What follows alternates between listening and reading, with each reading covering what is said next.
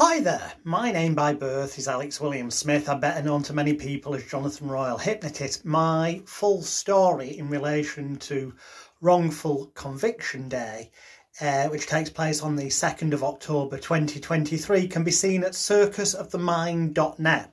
This all interrelates um, with the fact that in the previous week, Amazon Prime Video have also released a three part documentary the Fake Sheikh about Rupert Murdoch's disgraced fake Sheikh Mazher Mahmood. Here's the thing. In 1998, I set out to try and expose Mahmood's dishonesty.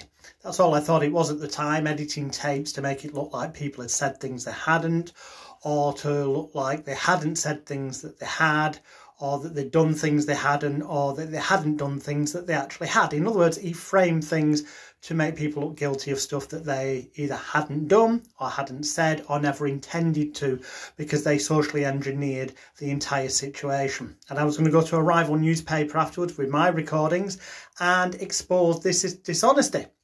It turns out, though, that Mahmood and his team at the News of the World at the time discovered what I was up to and were always one, in fact, five, probably 10 steps ahead of me. And as a result, and I now know in the past couple of years, evidence has come to light that unlawful information gathering and phone hacking techniques were used, uh, as well as information from my former publicist who. Um, ended up being on their payroll and double crossing me, that they knew that I knew who Mazher Mahmood was and that my intention was to expose his dishonest techniques. Little did I know how deep the rabbit hole already went and everything else that was going on. I did not know at the time that phone hacking was being used, but now there's evidence that yes, it was. I did not know that unlawful information gathering techniques and private investigators were being used, but heck, it was. I did not know in 1998 when I set out to expose him that the police and the Crown Prosecution Service already knew he could not and should not be trusted, but it turns out that was the fact. So here's the thing. At circusofthemind.net, you can see why I say that my conviction uh, as a result of the 1998 attempt to expose Mazher Mahmood backfiring and them using manipulation, lies, editing tapes, um, supplying money up front to make a crime possible that would never have occurred otherwise, threats and intimidation behind the scenes, and it now turns out evidence that drugging me and other people into making them more flexible, more manipulable, more compliant were all elements of many, many things that were done to cause crimes that would never have happened otherwise. Meaning there are dozens of people, uh, dozens and dozens of people uh, who sustained convictions as a result of fake sheikh stories that were basically wrongful convictions. They should now be considered unsafe, especially when a few things are considered. Namely, there is now evidence that Mahmood and his team were using uh, phone hacking illegally. They were also using unlawful information gathering and private investigators, so could be multiple steps ahead of people and use that to socially engineer and behind the scenes use manipulation, dishonesty, and deception, often uh, using bribery and payments to people that the pe person knew to also influence and persuade and manipulate them behind the scenes, none of which was ever mentioned in any of the stories. And then editing of tapes. This is something it turns out that the Crown Prosecution Service knew about at least as far back as 1999, when the case of Rhodri Giggs, the foot, famous footballer's brother, collapsed because the CPS decided they could no longer um, rely on the recordings of Mazher Mahmood. But it gets worse than that. You see, in 1994, it turns out, thanks to disclosures in the Mitville, which is the phone hacking cases and unlawful information gathering cases running through the High Court, documents have been disclosed, documents between the Metropolitan Police and the Crown Prosecution Service, uh, illustrating that they both communicated with each other in 1994 in relation to a collapsed 1992 uh, or 93 thereabouts uh, trial involving Mahmood as the chief witness, where they concluded that he could not and should not any further ever be considered a witness of truth. And yet, despite having made those assertions to each other, they relied on his evidence till 2014. Why is that? Does it have any link with the fact of Rebecca Brooks, formerly Wade, um, other news group executives, and Mazher Mahmood himself having links with police officers of a corrupt nature. For example, Mahmood in the police um, in Leveson bragged about, um, or police investigation rather, as you can see on circusofthemind.net, bragged about having bent police officers in his pocket.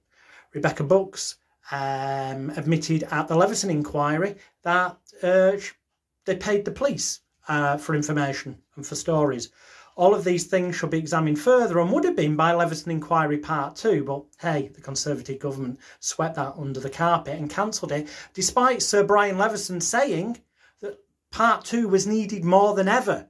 In fact, Matt Hancock lied about that in the Houses of Parliament, giving the impression Sir Brian Leveson, trying to give the impression Sir Brian Leveson had said Part 2 should be cancelled. It wasn't true. He said the scope of it should actually be widened. And one of the main focuses should have been Mazher Mahmood uh, his illegal techniques, his dishonesty, and also links to police uh, and other corruption.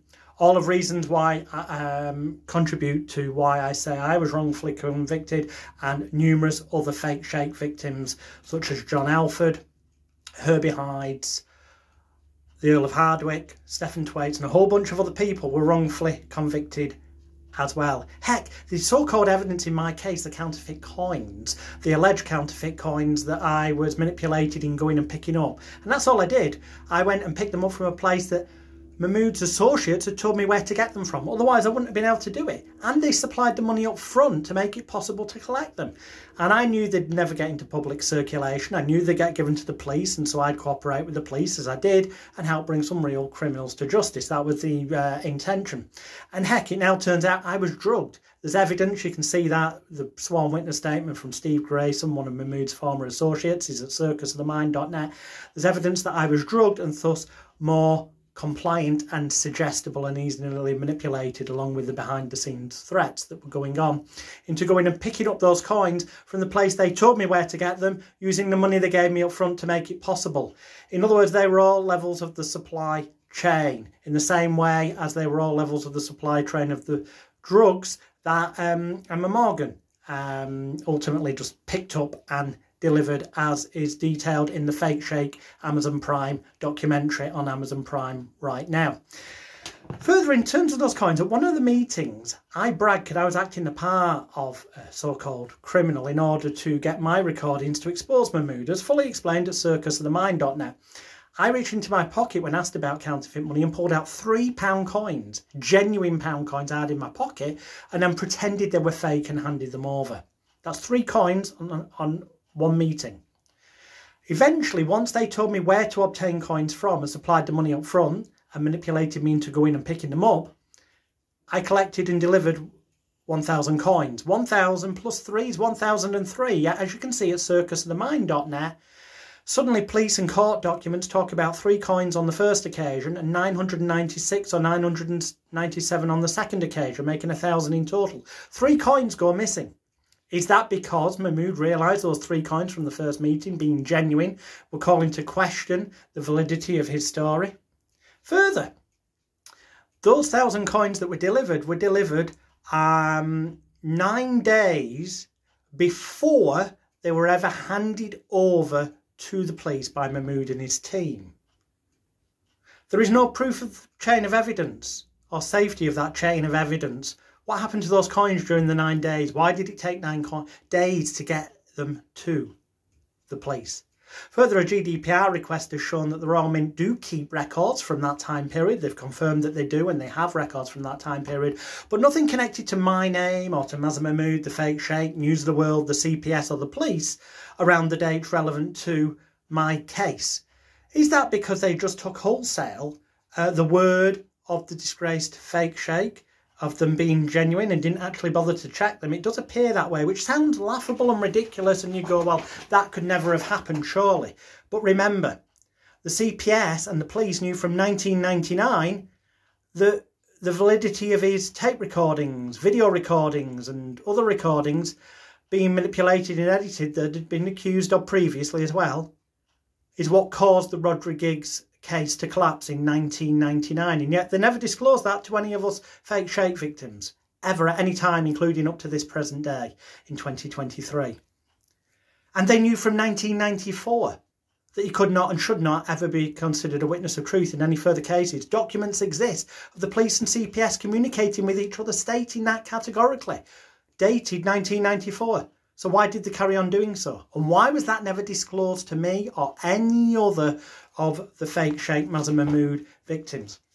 In my case, you see, he ended up knowing, I didn't know, but because they were using phone hacking, unlawful information gathering, illegal private investigators, and paying behind the scenes sources such as my former publicist, so that there was manipulation going on from all sides. It turns out that they knew that I knew who he was. Surely they should have walked away from it the moment they realised that it was my intention to expose his dishonesty. But no, instead they decided to manipulate things to try and make me look as bad as possible. Is this because uh, one of the reasons why they never contacted me the day before the story appeared? As you'll see in the Fake Sheikh documentary on Amazon Prime, it was routine the day before the story would appear in the news of the world to ring up the victim um, and say, hey, you're going to be in the news of the world. Have you got a comment? I was never called. Is that because they knew full well that my response would have been, hey, I've got recordings as well, and I'm going to show that you've been dishonest? Um, more than likely, especially when you consider, as you can see at circusofthemind.net, that in a Manchester Evening News article of March 1999, the day after I changed my plea on the first day of trial due to bad advice I now know at the time, uh, from not guilty as I was always pleading, uh, until the first day of trial where I changed it to guilty with mitigating circumstances, all explained at circusofthemind.net, that um, The Manchester Evening News reported that the judge said this is not an ordinary case. He accepted the fact that there was a motivation of gaining publicity. In other words, he accepted the fact I knew who was and that I was trying to expose his dishonesty. Was it a fact that the News of the World and Mazher wanted to distance themselves from those comments by the judge uh, as much as possible? Is that why they never reported or bragged about the fact that a conviction had resulted? Because normally, after a conviction resulted after one of their stories, they bragged about it in the paper. Never happened with the case of me. Is that because they wanted to not draw attention to the fact the judge accepted it was not an ordinary case? The judge accepted, as reported by the Manchester Evening News, the focus was publicity, and that ultimately all parties knew that uh, I knew who Mahmood was, and it was only I had no criminal intentions. My only intention was to um, expose the truth as I understood it to be at the time, which was to do with editing tapes and telling lies. It's actually a bigger rabbit hole than I realised because in the past couple of years it's come to light that Mahmood was using phone hacking, unlawful information gathering techniques, the use of illegal private investigators, paying people behind the scenes who people knew to manipulate them into doing things, and of course, as we do know and did know, and the CPS knew from 1999 because of the collapse of the Roger Giggs case, editing tapes to make it look like people said or did things they hadn't done, or that they hadn't done or said things that they had that could have made them look as they were genuinely innocent and with no intention of breaking any crime. Any crimes that did occur were minor and were such that the victims involved were manipulated into it, entrapped into it, socially engineered into it with threats and intimidation behind the scenes and um, you know dangling carrots of you'll have multi-million pound uh, film contracts like Tulisa was or in my case it was the um, dangle carrot of you'll end up with television contracts in the Middle East and in Dubai and all this kind of stuff. His modus operandi with everyone was pretty much the same lying deception and as we now know phone hacking unlawful information gathering techniques and it also raises the question in my case why in the year 2000, two years after the story they did, and one year after I was released from prison, did they not report, when reporting on the release of my autobiography, on the fact that they'd gained a conviction? They didn't mention it at all, and yet they ran a story about my autobiography release, which contains chapters about how I attempted to expose uh, Mazher Mahmood. You can see all the links to this on circusofthemind.net. The evidence is there. It raises questions galore. Ultimately, the one that raises the biggest questions is, is why are any of these convictions considered safe when the people were manipulated, when there were people were lied to, when there was no public interest justification for secret filming to take place because these crimes would never have occurred without Mahmood's team making the things happen. People did not have previous history of doing these things, so there was no public interest um, excuse for A, Mahmood to break the law in the way that he did, and he bragged about never getting um, done for breaking the law and buying drugs and doing things that would normally be considered illegal because he claimed the reason he never got done for it is because it was in the public interest. I suspect it's slightly more to do with the fact that Rebecca Brooks and Mahmood themselves, between them, Mahmood bragged of having been police officers in his pocket, and Brooks has talked about paying police officers. You can see more about this at circusofthemind.net. The cesspit, cesspit of um, corruption surrounding all this is beyond belief and even um, implicates Mahmood's name numerous times in the published findings of the Daniel Morgan murder inquiry report, Britain's most investigated murder that as yet is unsolved. I could go on and on, there's so much to tell you, but it's all laid out with the evidence, the facts and the proof at circusofthemind.net. I encourage you to share this video far and wide. Please lobby your MP and say you want them to lobby Parliament to reinstate part two of the Leveson inquiry. Part two would deal with police corruption, corruption um, that may or may not exist in the Crown Prosecution Service and between the two and high-ranking officials and politicians and how they all link together. And also, if they follow Sir Brian Leveson's recommendations, would have a particular focus on victims like myself, like John Alford, like Herbie Hides, like Emma Morgan, like the Earl of Hardwicke, and a whole bunch of other people, victims of the fake Sheikh Mazher Mahmood, and with the evidence that's now come to light that he drugged people with a GHB style drug. The witness statement from one of his former associates, Steve Grayson, is at circusofthemind.net. That he phone hacked using lawful information gathering and he bragged about not getting done for breaking the law, and yet various judges over the years and various high ranking officials said that he should be investigated by the Crown Prosecution Service for doing such things. This was stated in the drop case of um, Rhodri Giggs in 99. The judge wanted the CPS to investigate Mahmood for selling drugs. But they turned a blind eye. Why? When they knew back in 1994 he could not and should not be trusted as a witness of truth. So many questions, so few answers. And uh, yeah, Monday, the 2nd of October 2023, is International Wrongly Convicted Day. Well, the vast majority, if not all, because there may have been one or two people who actually Mahmood came across who genuinely um, did have a, a, a, career criminal background. But the vast majority, 95% or more, um, were manipulated into doing things that would never have occurred without the manipulation, lies, dishonesty, deceit, and illegal actions and techniques of Mazher Mahmood, making all of these convictions arguably unsafe especially when you consider that the police and the Crown Prosecution Service never disclosed to me or any other fake shape victim what they knew from 1994 about the fact that he could not and should not ever be trusted as a witness of truth again, and what they knew from 1999, namely that he edited and messed with recordings. Please share this far and wide. Go and discover more at circusofthemind.net.